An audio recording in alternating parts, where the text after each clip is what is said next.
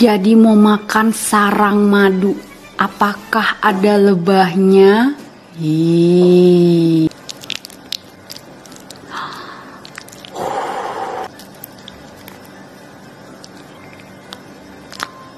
Rapuh banget, dipegang langsung remuk.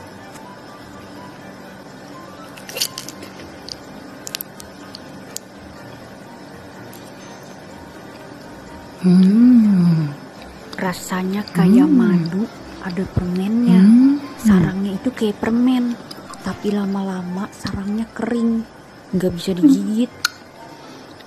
Jadi kering. Hmm. Rasanya manis tawar, nggak manis yang kayak madu kemasan. Aku nggak doyan itunya. Katanya ini sehat banget guys, jadi aku sehat.